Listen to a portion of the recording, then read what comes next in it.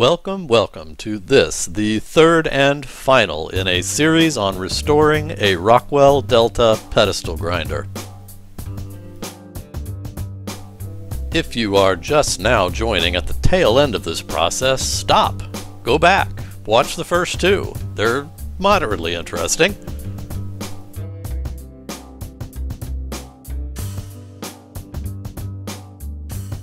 In this video, everything is going back together.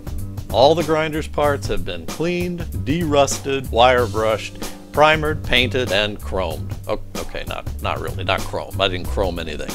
But it's all cleaned up, shiny, and looking spiffy.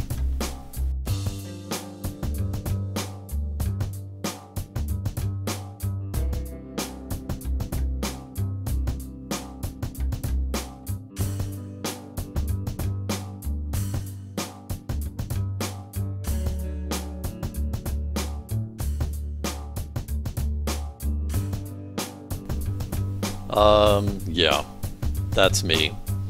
Cleaning wires. Why? Because, well, you know, wires conduct electricity better when they're no, no, that's that's a lie. Uh, it's because I I'm ridiculous and pedantic and couldn't put this thing back together with grime all over those wires. Like any responsible adult, I'm going to blame my parents for that. My mother probably dropped me on my head when I was an infant. She's never owned up to it, but I suspect.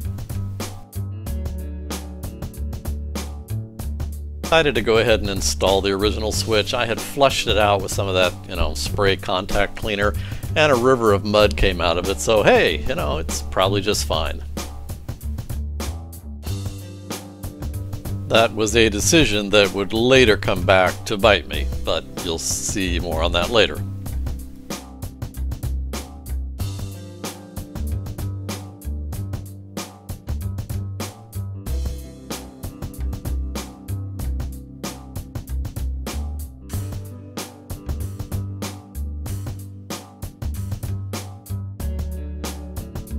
The original US made motor capacitor tested fine, so I just reused it. There's no point in replacing it.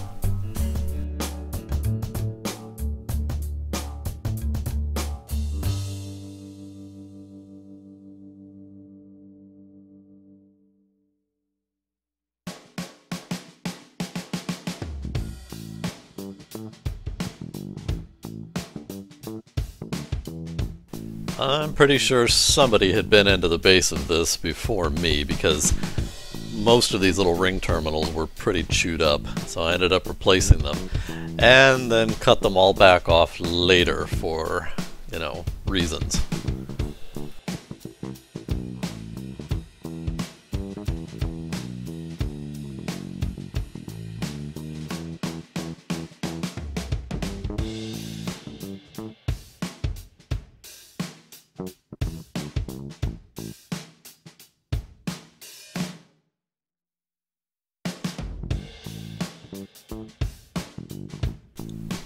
Strain relief for the original power cord was just a simple knot, and I can tie a simple knot. So that's what I did.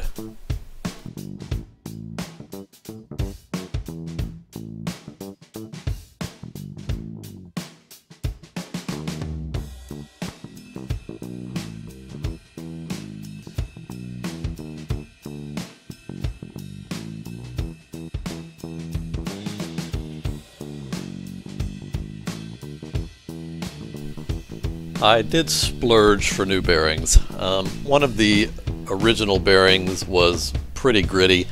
The other one was okay, felt just fine, but you know, you're in there anyway. Their bearings are cheap. Just go ahead and replace them.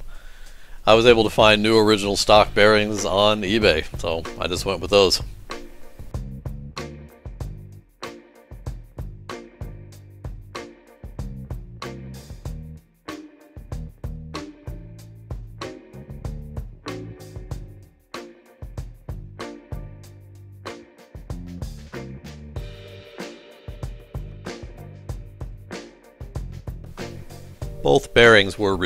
On either side of the motor with a couple of pan-headed screws.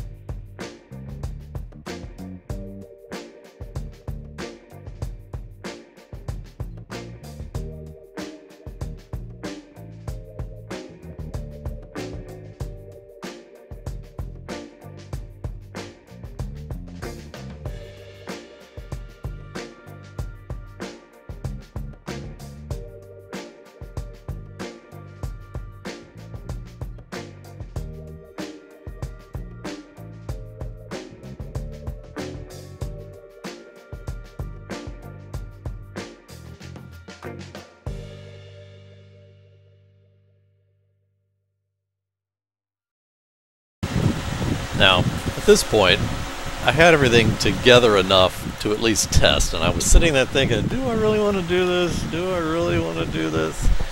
Yeah, I do. So I plugged it in, and it spun up, which was a good thing, but it wouldn't turn off. There was that switch again. Now, instead of being in a locked off position, it was in a locked on position.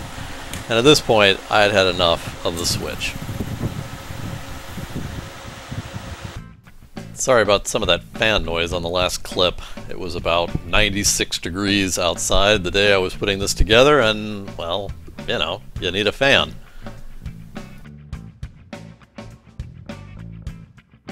I'm not sure how visible it is in the video, but that motor plate had some kind of layer of gray, opaque schmoo on it. I, I, don't I don't have any idea what it was. It didn't look like paint over spray, um, but it it also wouldn't wipe off with like standard solvents. I tried lacquer thinner and mineral spirits to no avail. So I decided the best way to get rid of it was to put some paint stripper over it and see if that would take it off I was really hoping that that aluminum plate had been anodized rather than painted because obviously the paint stripper would have taken the paint off too but it came out just fine. And all the crud that was on it came off. It looked really nice actually after it was all cleaned up. Now for sure it would have been smarter to clean up this motor plate while the motor wasn't painted but I forgot to do it. So Anyway, I had a little bit of damage caused to the paint by this paint stripper, so it required me to mask it off and do a little bit of touch-up. It wasn't any big deal, it came out okay. One thing I didn't particularly like was how dull the plate looked after all of its chemical cleaning. And because the rest of it was so shiny, and because, you know, I'm basically 12 years old in my mind, I decided the plate had to be shiny too, so I masked everything off again and shot it with a couple coats of lacquer.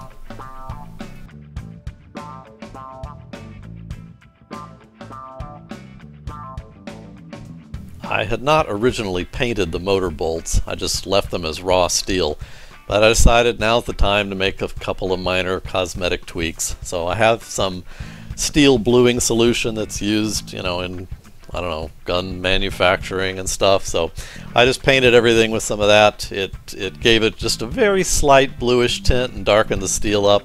It ended up looking pretty nice.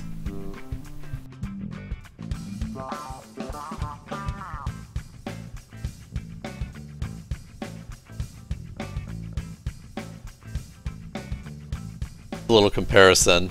The one on the left has been treated with gun bluing, the one on the right is not. It's a pretty subtle effect. It just darkens the steel up and gives a little bit of a, I don't know, bluish patina. And here's where I got rid of the original switch that had been giving me so much grief. Um, the replacement is a single pole switch. The original was a double pole that switched both live and neutral. Uh, the single pole only switches live, so I had to make a couple of wiring changes to tie the neutrals together. But uh, I think this is going to work better, and I, I remember reading somewhere at some point that it was actually unsafe to switch both live and neutral through the same switch. Something about if a short occurred in the switch, you can end up energizing the tool with live main voltage. So anyway, this will be better. Grinder, as received, did not have a switch in the column to control the light switch, and I did want to be able to switch that on and off separately, so I had to drill a hole in the bottom plate so I could pass the wiring through and down into the base. And while I was on my safety kick, it also occurred to me that somebody had cut off the grounding lug inside of this grinder and there was no ground. So I went ahead and stripped the wire back, put a connector on so that I could ground the entire unit properly. Before I buttoned up the bottom plate, I pulled the wires through that will eventually be run up to the grinder's lights and got everything tied together. I also went ahead and did the wiring needed for the switch that will go down into the base and got everything wire nutted together.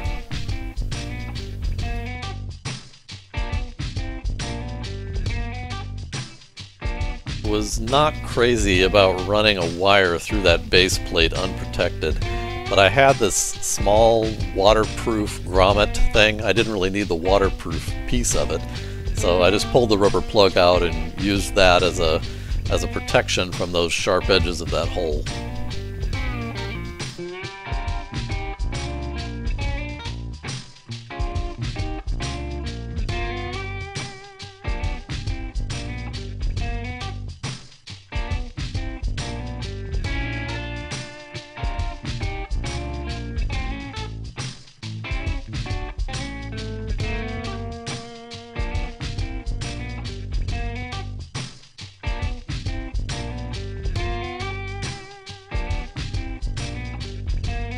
A dust shield, I guess it is, on either side of the motor shaft, and it's a pretty tight friction fit against the retaining washer that gets put on the shaft later.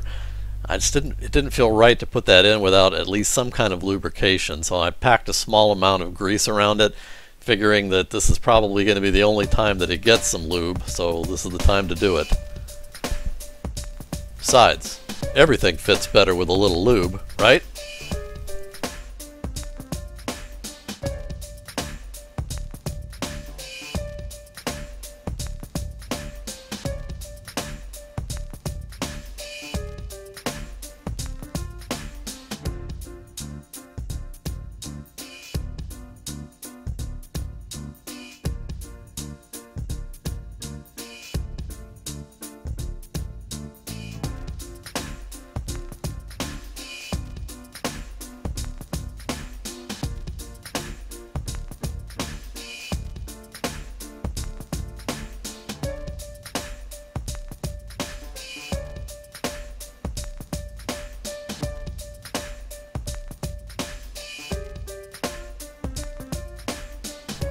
I did purchase two new grinding wheels for this unit.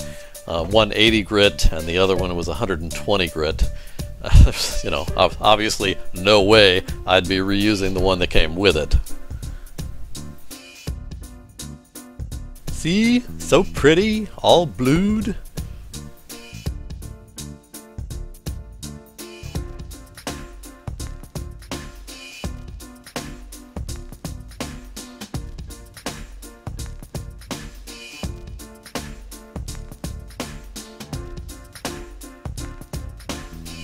Really the mark of a high quality tool when things just fit together well and that's one thing I definitely will give this grinder is that everything fit together really nicely.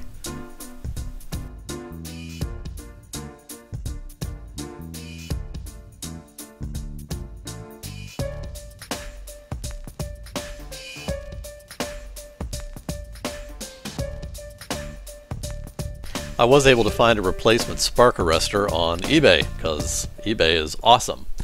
Um, I went ahead and did a bluing effect on them both. It didn't turn out exactly as well as I had hoped. Um, the finish on it wasn't perfect, but you know, whatever. It's a grinder.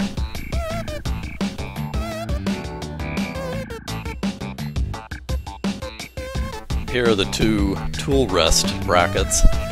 Can you tell which one I made and which one was the original?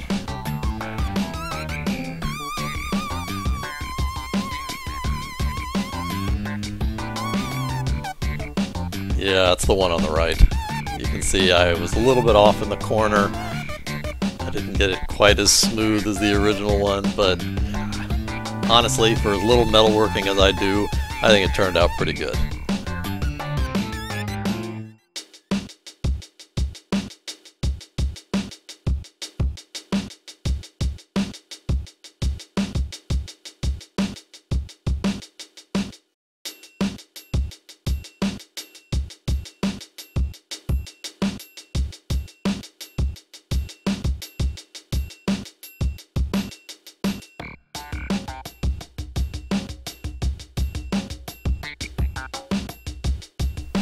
One safety shield that was in the grinder when I got it was actually two pieces of eighth inch plexiglass laminated together.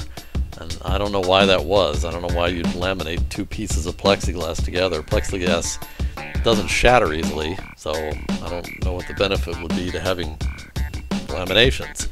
Anyway, I found some quarter inch stuff and cut two new shields out on the bandsaw.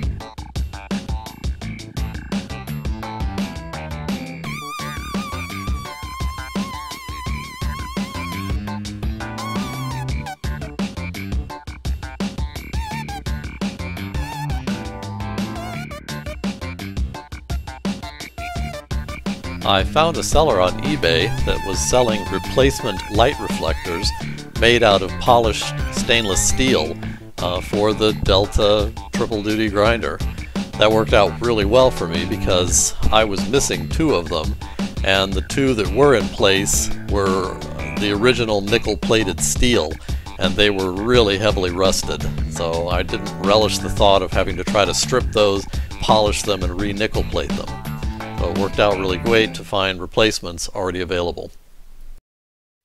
Although this grinder, of course, originally came with incandescent bulbs, I found replacements in LED. These will be brighter, they'll last longer, and obviously consume less power.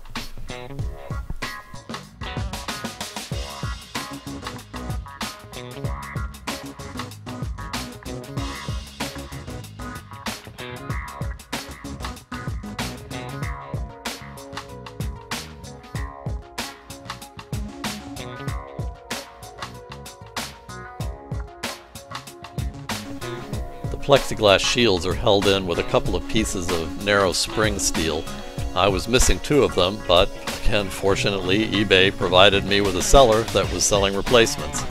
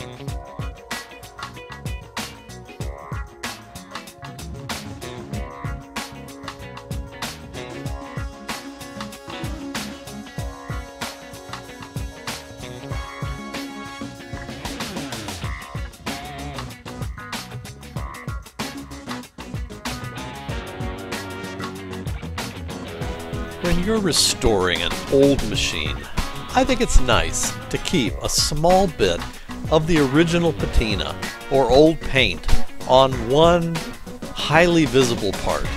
For this grinder, it shall be this plate on the pedestal base that houses the light switch. Isn't that a lovely bit of old rusty metal? Yeah, no, I'm totally kidding. This'll be so much better.